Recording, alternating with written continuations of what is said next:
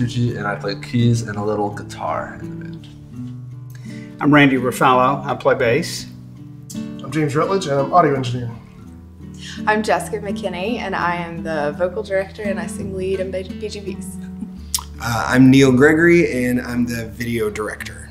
Tell me what your first session was and what you remember about that first session, whether how you felt or what went through your body or whatever, please. Um, Or nothing. You don't have to have a great answer if you don't want. okay. Uh, yeah, my first session was Boston. I did two out of the five songs because only two songs had keys, um, and uh, I just remembered. What I remember is like feeling like I've finally gotten a chance to play with the lab band because you know I, I'd known all the guys for years and saw what they were doing, and I was excited to get involved. So That's probably what I cool. remember. That's cool. We'll get back to a little more on that. Let me hear. What about you?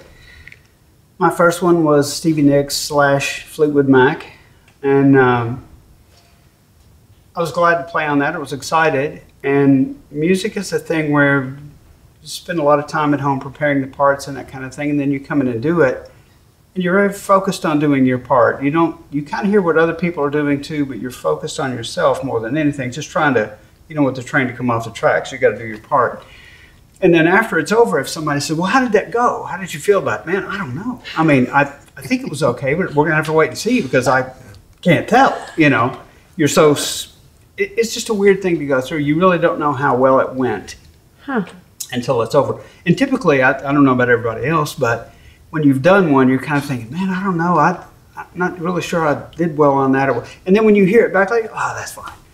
You know, so it's it seems to always come out better. Thankfully better than worse uh, compared to your view of it, what you remember from it. So I'm glad it's better instead of not as good.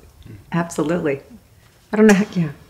Uh, I don't remember the very first one I've done. I went to almost all of them, but uh, it might have been Doobie Brothers, or I could have might have not done that first one. But the thing that really surprised me, even early on, was um, to hear songs that I was familiar with from my youth and stuff. But you know, ex- you expect to go into it as a cover band project, and you, you expect that, but the quality right off the bat was like it was like I was listening to the original artist, and it was like it was just in modern times with modern equipment. So it was really fascinating. Kind of grabbed me right away. That's cool. Thank you. My first episode was Steely Dan, and it was highly intimidating because the vocals are not intuitive in the slightest. So I remember walking into that session and being A, nervous because it's my first one, B, nervous because I arranged vocals for something that was really tricky. but I'm with, I'm with you. I don't remember anything that happened in the mm-hmm. shoot, and then we published it, and I was like, oh, it was great. But I don't have any recollection of what happened. So that was surprising. Um, it's gotten better as I've done more and more, but for sure, that's my, my big memory from the first time. What a daunting first, Steely Yeah. Dan. Yeah, I know. I know. Funky, Yeah. funky, Fun. funky chords. Yeah, Funky. challenging. Yeah, so Very cool. Yes. And what about you? Uh, I was there for the second shoot, so that would have been the cars. Um, and that's when kind of the video director, we, Vandy had asked me in the very beginning, like, hey, do you want to, I'm thinking of doing this thing. I want to get people to record together. And I'm like, sure, this sounds complicated and chaotic, and I'll show up and we'll see what we can do. And so I wasn't there for the first shoot. The second shoot, I, I just remember chaos. I remember we've got all these different camera ops. We're trying not to get into each other's shots, and I think at that time we may have had a jib or not. Like we, it was just a lot of chaos. And I remember going, I don't know how this is going to work. Like this is going to be really difficult to put together, maybe in the edit. And at the time I was doing the edits, and so like looking back and seeing Vandy would sit over my shoulder and would be like, "Hey, we want to see this at this time," so we're finding all the layers. And um, I don't know most of the music that we played. I, not my generation. Like Hence why you probably stopped editing. Did yeah, you? yeah, probably. like, no, he doesn't. He doesn't know what to listen to. Um, so I, I wasn't familiar with Cars, Doobie Brothers, or really any of our first um, bands, or a lot of the bands that we've played. And for me, I've gotten to fall in love with this music. I listen to the lab band soundtracks in my car as I'm driving, and now my kids are falling in love with the same music that I've just recently gotten to fall in love with. So that's that's kind of fun because I get to see a little bit behind the scenes of the edits and all that. So to see it all come together from the shoot to what he's mixed and then to the edit. It's it's been really um, it's been really fun. I love that. Okay, we're going to tap into a little bit of everything you guys have just revealed. I'm going to start you with you, Jessica. Your harmonies are so spot on. The sound, the effects, the blending, it sounds like pre-recorded tracks when you're uh-huh. listening to it. It's wild. I'm sure the fans want to know how you recreate this, what the process of that is like in discerning what parts to then mm-hmm. teach everyone else or show or reveal or unearth for the mm-hmm. record. So, and the I think fans also want to know, do you use pre-recorded tracks? No, we do not. I'll just get that out of the way. I wanted a big old emphatic no. Absolutely not. I think it's so no. important to say that out loud. Yes. Yeah. No, we we do our best to recreate them. We have all of the parts uh, represented if possible, and then honestly, Vandy's mixing is a lot of what makes it sound like the original because they're you know he's going to go in and make sure the levels are what they need to be and things like that. Whereas I'm singing at the top of my lungs on a mic, so you know. But um, the preparation for that is a lot of things. Like it's everything from listening by ear to going in and trying to pull out isolated tracks if I can pull them out and listen to them and go here there's three parts here there's four parts here there's two parts whatever that is and then putting them all together getting the right people to come in and sing those parts and then doing it all live so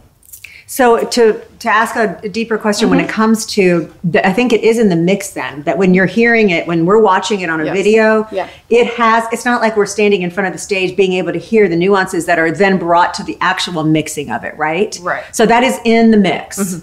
But yet you guys are performing live and you sound fantastic. So how is that done so well? uh, it's the same thing same exact process um, i think james is Yeah. the Does James get credit for that? He does. He's a master, so he makes us sound good at the live show, and he's got a really good ear for what we're going for on each individual track too. So, I mean, they've both got really great ears. That's really what makes it sound so phenomenal, along with incredible musicians. James, do you study that before you're mi- mixing? Like, do you or do you tell me how your process works? Yeah, uh, so my the bulk of my work is obviously at the live show. I do engineer most of the projects, and where I make sure we get a good signal to re- on every track. But then Vandy takes that and actually does the mix that you hear. Um, but on the live show, I really focus in on what he's done in that mix process and try to recreate that in a live element. So I'll be sitting there for a month or two ahead of the live show every year, listening to the full set in order. Over and over and over again to the point where I can even remember, okay, the next song is this, the next song is this. So just really honing in on what Mike has done on those tracks. That's very cool. I had no idea you did that. That's oh, awesome. That's so cool. Holy cow. Isn't it neat? See, do you see? Oh, you guys are fans of each other in so mm-hmm. many Oh my ways. gosh, So do you guys see how important it is to share this kind of thing with the people who are watching? They don't know how much work you, how the hours that you spend into doing that, so that you can anticipate the next mix when you need something Yeah, cool. pumped up and something mm-hmm. quiet and some mm-hmm. effect on something. I mean, Yeah. it's a big deal. Yeah, I, I, sorry, I'm putting words. I'm getting all excited. All right, Randy. You're just as passionate. That's great. Um, share when you knew that the lab band started to really pick up steam. You know, it. We obviously we watch the view counts, and there have been times when things grew slower or faster. You know, it kind of waxes and wanes a little bit, but you know, you see those those things taking off.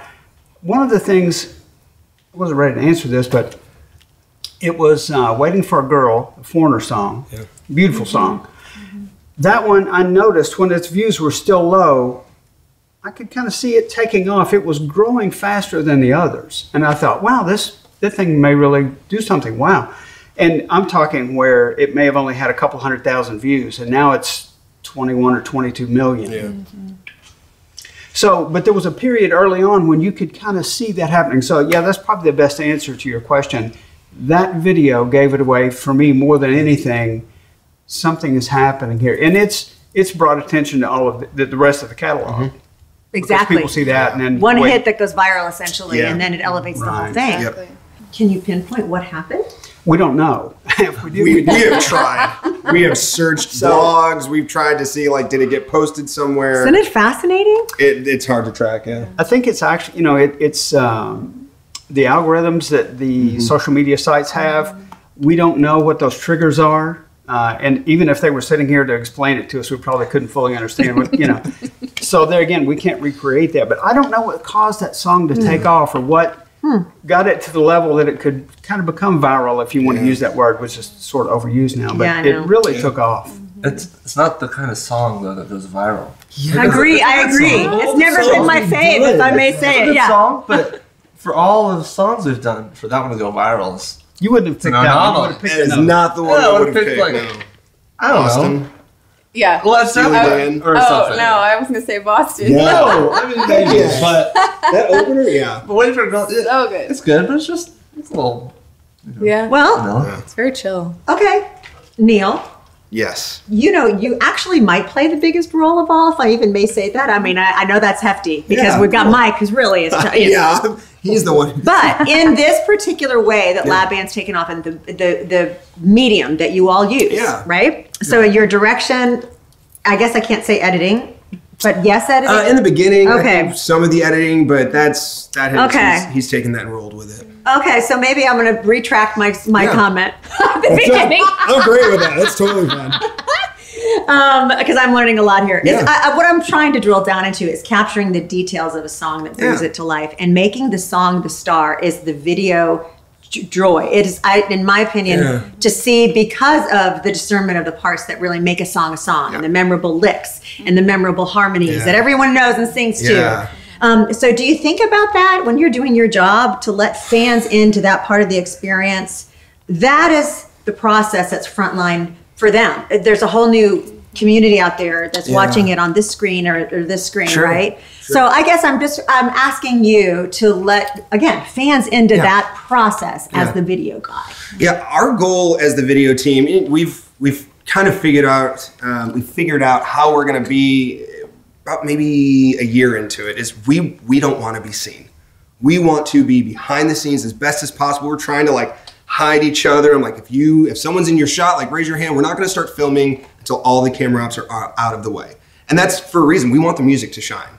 And so we don't necessarily go in and go, hey, we need to make sure that this one is going to be highlighted. We're learning this music for a lot of us just the same as a viewer is for the first time. So we're coming in going, I don't, I'm not sure which one's going to be the most important. Me and Vandy will talk um, before shooting. I'll be like, hey, who's like my, got to make sure we have to get, you know, who's going to rip out this awesome guitar lick or keys or like drums, something like that. So we'll kind of know the ones that we need to make sure we've got maybe our most experienced camera ops on.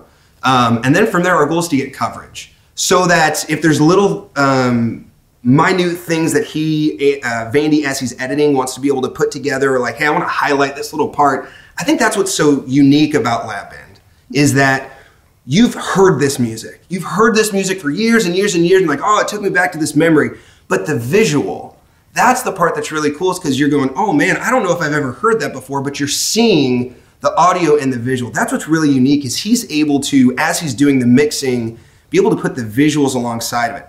That's a new experience that we didn't get when this music came out um, all these years ago, is we didn't get to visually see it. Now we do, and we get to be intentional with going, you're not only going to see it, but you're going to see it like up close and personal, and like you're going to fall in love with how fast their fingers are moving on the guitar and all that. So our goal is to get out of the way and just let the music shine as best as it can.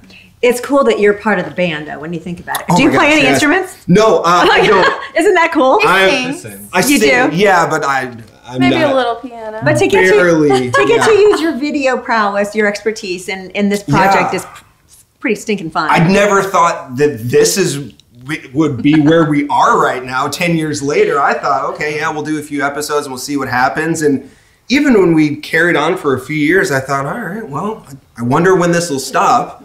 I'm still wondering that ten years later to go, I don't. This this shouldn't work. Like this is all volunteer people coming together for the love of music all these years later. All of my camera ops are people who some have video experience, some are just coming because they love music. We're not like this super professional group of people that come together to make this awesome product for the product. We just we love music and I think what is maybe unique is we love each other. Camera ops are caring for one another. Like this is a family of people and it shouldn't work 10 years later right? Like there's just a lot of humility that comes into this that I don't know. I'm I'm grateful and humbled to be a part of something that um, has continued for all of these years, and um, yeah, it's just, it's fun to it's fun to be a part of that family. We're, we're going to talk about ego because it's going to be a recurring theme. It's really interesting. Lack of ego. Yeah. Austin, I want to I wanna ask you first. Multi instrumentalist. I, I love that title. Do you love that title as much as I think that's super cool? Look at the smile I don't mind it. It's, it is what you I are. mean, it's sort of accurate. Yep. No, I love it. The- In the most, yeah. Well, is it? Va- I, I- I just wonder. Maybe you're just so used to it. That's just who you are, right? But is it validating for you to be able to flex all those muscles Mm. musically to have it recognized by Mike and then utilized in lab band? Yeah. Uh, yeah. Because well, I only play. I haven't really branched out in lab band. Like I'm mostly a keys player. That's what you mostly see me doing. Uh, and I play a little guitar here and there. So in lab band, that's about it. Um, it could be cool to try something different. So maybe that's not. So maybe Singles. validating isn't even the right word. I guess what I, I'm trying to put your your key parts even though. Again, it goes back to like what gets featured on that video. People can appreciate your keys in a way that typically keyboardists. There's a lot of stuff people don't get to see behind that. Yeah. Yeah, keyboard was like the not cool instrument. Honestly, uh, in the seventies, eighties, like Yeah. well, eighties it got cool.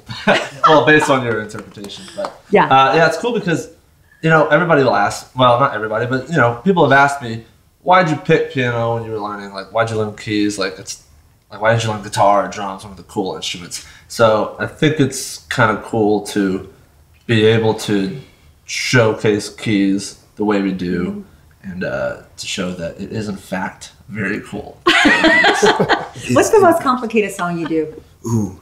Oh, for me, um, probably uh, "Call Me the Breeze" by Lynyrd Skynyrd.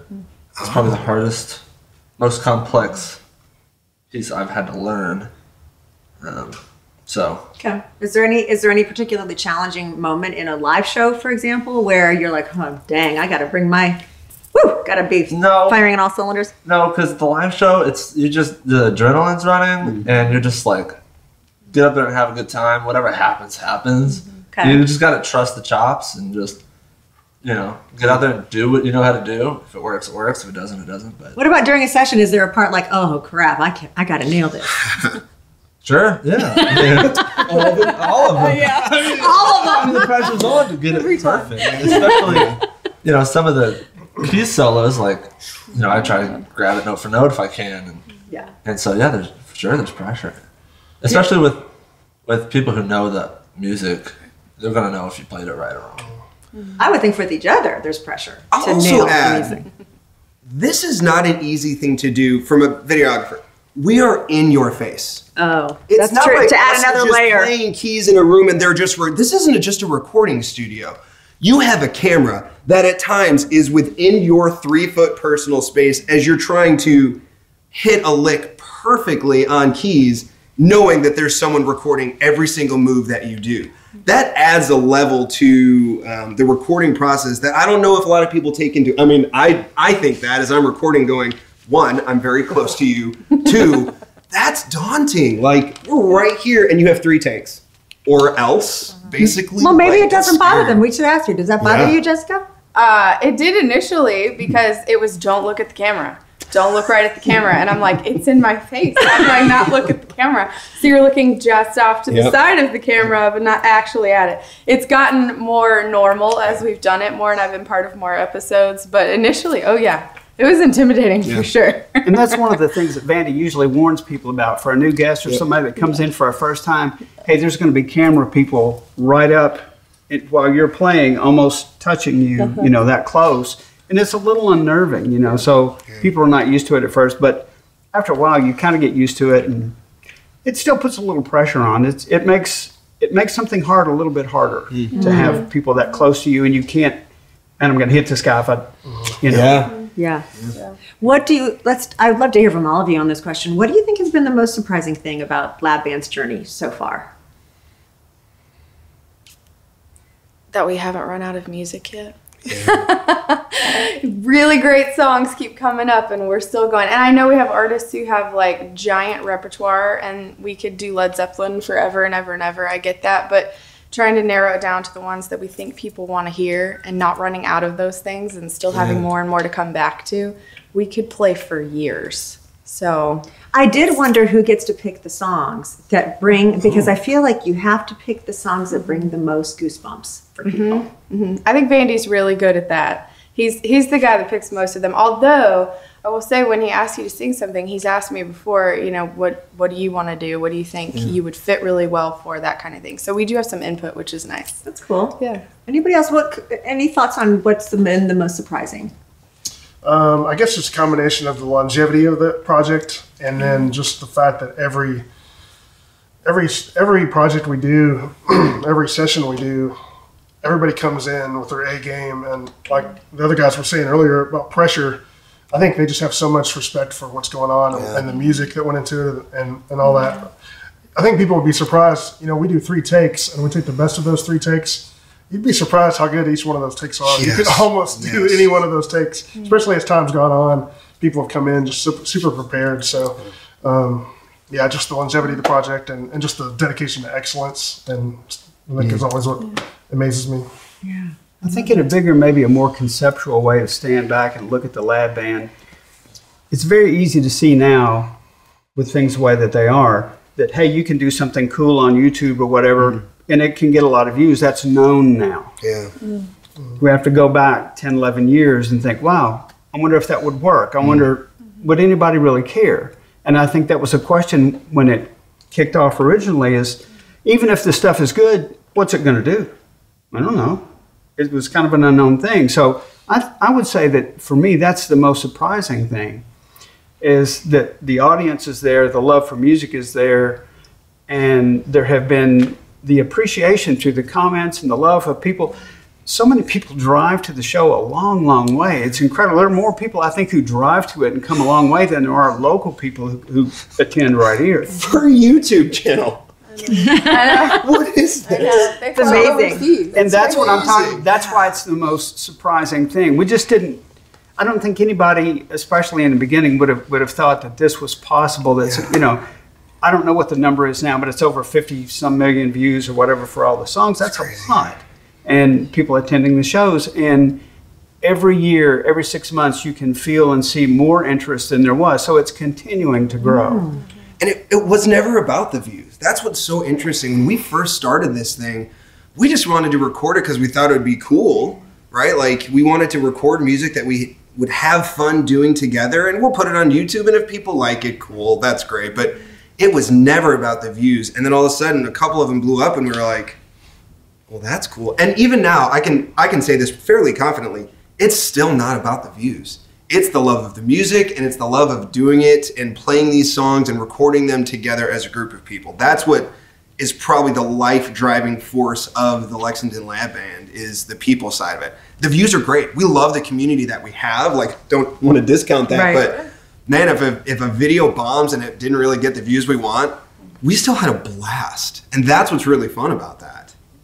I think something that I loved in the comments of, from the survey that we sent out, which was you all talking about gathering in the back room before a live show. What you really loved about the sense of community, right? Dinner and prayer at every live show, a family band, all coming together to bring each unique talent to one song and the lab band story. Um, and I love also how the lab band is a video or a visual jukebox. I thought that was a great, oh. a visual Yeah, that's cool. jukebox. Like, what a cool way to describe it. Not for the money or recognition, but to simply pay respect to the people who inspired us to be musicians in the mm. first place, to recreate the songs with the utmost accuracy.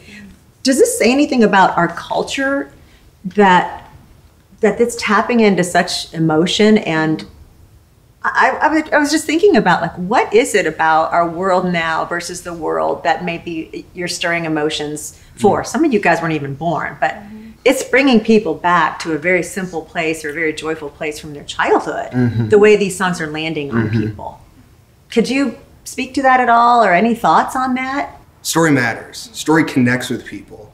And the story of us coming together, but it's also every if you read into the comments of all these people, I remember the first time I heard this. Oh, I was in my car in 1965 or 72, and man, I'll never forget that. Or this next person goes, Oh, I went to that concert, it was live. And so these people are experiencing this music not for the first time, but they're they're remembering that like what their life was like in that moment in that warm summer day that they listened to that song for the first time they get to re-listen to it again and relive those moments and that's that's how we connect is, is through the story so we're we're reconnecting people back with the story of their life when they first heard the song well said And I think the reason that that works is because the songs are, are very close to the originals. Yeah. You can have a great version of a song that's different, and people would still appreciate it, and maybe even appreciate it more in some ways, but not like that. Not not the reminiscing, mm-hmm. um, the the connection with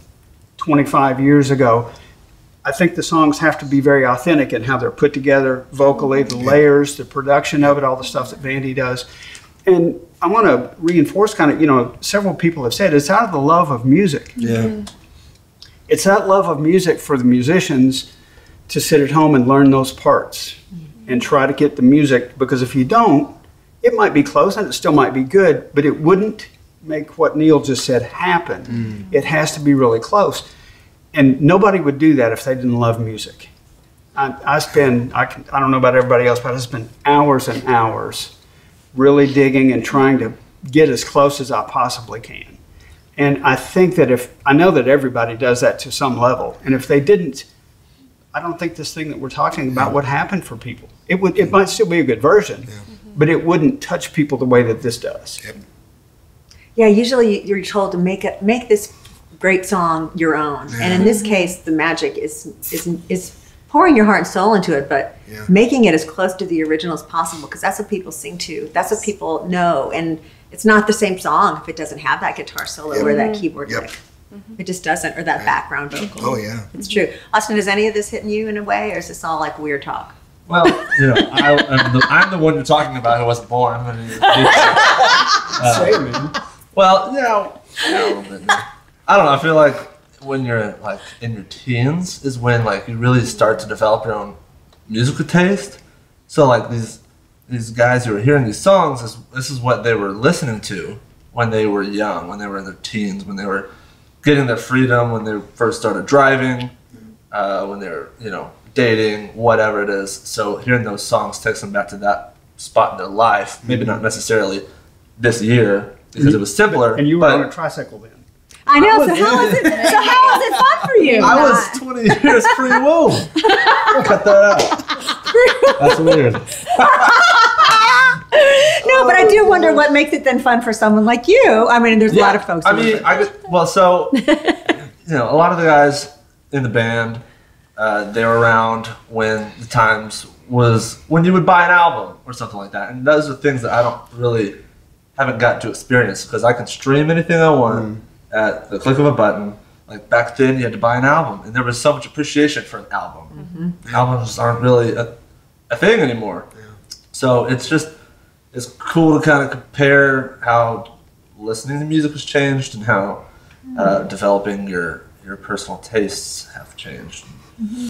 I, I already asked about investing your personal time. I didn't. You brought that up about the investing because a lot of people go, "Why on earth would you invest this much personal time?" Mm-hmm. Love of music. Yeah. Mm-hmm. Period. There's nothing more than that. It's Love fun of music. to get together. We love the music. We love honoring the artists. That's why we do it. That's it. Simple. I like the people.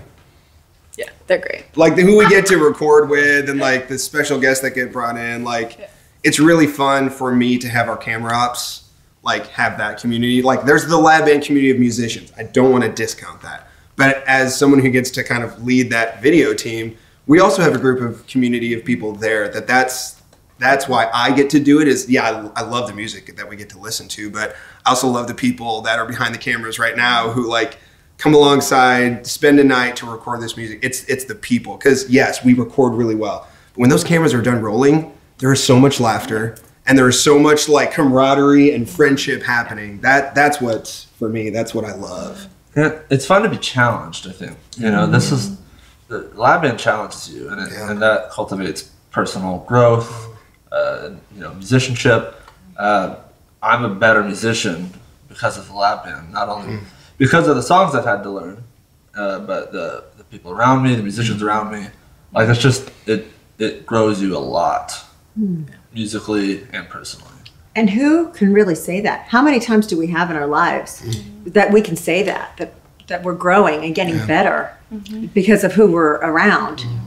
early on, and everybody can probably that's been in bands relate to this. When you're young, especially, and their egos and people are not mature yet, mm. there's a everybody kind of wants to do well and they want you to do well sort of to a point but not better than you know and there's this Yes. jockeying for position and mm-hmm. control of the unit and all of this kind of thing. People don't truly in that situation want you to be your best mm-hmm. always. And in fact sometimes if you're doing too well you know somebody might might take offense to that. This is the only thing that i've ever been a part of like this where everybody wants you to be your best and to do your mm-hmm. best and bring your best and get better and and lift you and support that as much as I've never been in another musical unit, even though some of them were, were good, that I can really say that fully mm-hmm. about. But it's it's true with this. You're you're allowed the space and encouraged and lifted up to be the best that you can be. I think there that's a from what I know about Mike, that's a testament to him finding letting you wanting you to shine in each of your given ways. Mm-hmm. And you're that's really well said the way you put it that way because there's no it doesn't seem like there's any jealousy. It's it's mm-hmm. and you are encouraged to keep to shine. I mean every single person's encouraged to shine. And in band environments, I hate to say this, but it's it's not always that way. It's it's usually counter to that a little bit. There's it just mm-hmm. gets messy sometimes, and, and maybe mm-hmm. not in every band, but there is that um, competitiveness, mm-hmm. you know, oh, and, s- and sometimes people, I don't know. No. That's Th- real. This is a good thing. You feel lifted up and supported to do and be your best. Do any of you, a show of hands, feel validated that you're in lab band, or feel like you are, or is, are you guys so confident that you're like, I, I should be in that lab band?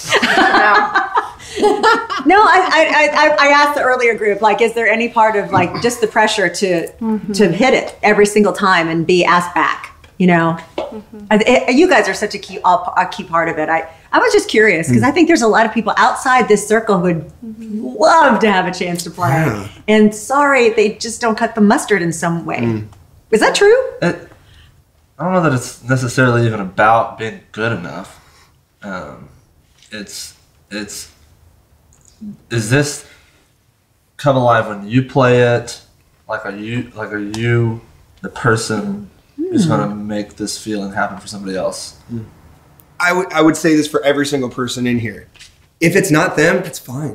Uh-huh. That's what makes this so unique. Is if Jess isn't the right person to sing on a song, Yeah. Vandy and Au- or Vandy, Randy and Austin both have not played keys or bass on every single tune, and they're great with that mm-hmm. because that allows another musician to be able to use their talents and their gifts to be able to play that song to the best of their ability. Again, that's what makes this so unique. You're not the front singer all the time, and you're great with that.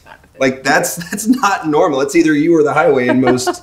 Where does that come from for you, Jessica? Just it's like it's okay. I don't need to sing lead on every song, and nor do I want to. I mean, we have so many talented people. It would be highly selfish of me to just be mm. like, yeah, I need to do this every time. I just don't feel that way. We have too many great people who could come in and nail the same parts that I could. So why not give them the opportunity? Because then they get to join all of this, which is, I mean, it's an honor. So I want them to be a part of it if they can. Is it not the secret sauce that every single one of you has that attitude about? Hey, it's not ego here. It's, a it's a culture yeah. that, that's Yeah. been Yeah. cultivated Yes. by a strong leader Yes. who's Yep. humble. Yes. I think that has a lot to do with it. Mm-hmm. Yep. Mm-hmm. I think he's a key part as the fan. I told this first group this away. too. The fans who are watching this mm-hmm. project, this is for them, right? Yeah. Do they all know? Do they know he what models, Mike? he models that for us, so it's Right. easy to fall Yeah. in behind that and see that this works. And I think again, everybody could say, "Well, this is great to be a part of, and it's fun." Part of the excitement is to know that, that this tribe is seventy or seventy-five mm-hmm. people deep right now. It's getting deeper. That's cool. If it was 10 people, and it had always been 10 people, it would not be this. I think it's great to have other people. That's exciting for me. It's exciting to for somebody to share that role and, and to, again, I, I said before, they want you to be your best, to bring your best. That doesn't mean holding on to, to a position and saying, this is mine. That means letting somebody else, that was given to me. I need to give that, again, just as well to anybody else and, and encourage them to be their best. Yeah, and one of the things that Vandy is so good at is he is able to see more than just the potential, but like what you could do before mm. sometimes you even see it. Going back to Steely Dan, when he asked me to do those vocal arrangements, I was nervous and going, Are you sure? You sure you want me to do that? And as it turns out, it was great. And I'm so thankful I'm here. I did not see that in myself initially. And I think pretty much all of us could mm. probably say that. He just does a really good job of seeing what could be and helping you get there. It makes me think of like my favorite high school choir teacher, I know, band right? I director. know. Yeah. And you guys get to have that as an adult. Yes. Yeah. That's special. It's unusual. This whole project probably makes you feel like you've got moments of middle school or high school Oh, in yeah. Yeah. joy. Yes, absolutely. And you get to do this mm-hmm. as an adult. Yeah. And who knows for how long. Exactly. Yep. So, any final thoughts or anything as you were preparing for when you came here, if you even knew what you were going to be talking about? um, anything that you said, gosh, I really want to make sure fans know this about Lab Band. It's the most satisfying uh, musical thing probably I've done. This is the music of my childhood, and there is something satisfying about playing the music that inspired you to play an instrument or, or be involved. So it's fun to go do this stuff, and and um, I wouldn't even you mentioned the word validating. I don't really feel like I totally belong, and I don't feel like I deserve to, to be able to do this. I'm happy that, that it works, and I kind of feel like, well, I'm just fooling people or sliding along. I hope they don't catch me, you know. But um, I feel very lucky to be doing this, to be to be again given this, because that's what it was. It's it's not mine. It's somebody gave me an opportunity to do this, and it's wonderful, and I don't deserve it. I'll hear he'll hear this a lot and he'll hate that people are talking about him as like the person who leads this thing. I will say he's very good about not isolating within the lab band. It can mm-hmm. feel like as the leader, and everyone will say this, it's it's V, it's V, it's V, it's V. I don't disagree with that at all, except V leads by bringing others into mm-hmm. all of the decision making that's happening. From, hey, I'm thinking about this song, what do you think? It's highly collaborative. Mm-hmm. And again, that that's a testament to him and how he wants people to win. Right? Like he, he wants the songs. Yes, we want the songs and like hold accountability to like make them the best they can be. But every single episode is how he can help that person win. How he can help those people win in this musical trait to help others grow as a musician. Like I know we had a big old shoot at Sweetwater this past week and it was stressful and all this. He walked away not because like, wow, what a great experience we were at this place he loved the fact that we were around people. Like he loved, he was like, man, just bringing people together to play this music. Like he doesn't lead this team in isolation. He doesn't lead this team as like it's all on his shoulders. He brings people around him um, and elevates them um, like to the same position that you know he can have musically, which is really, really humbling to see that. And then know that we've been invited to have an opportunity to do the same thing in our own specialties. It's a testament to the to the win of diversity, Yeah. or diversity at large, and it's really special to see it. And mm-hmm. it's I think you guys are a great microcosm for the rest of the world to even watch and learn hmm. and be inspired by.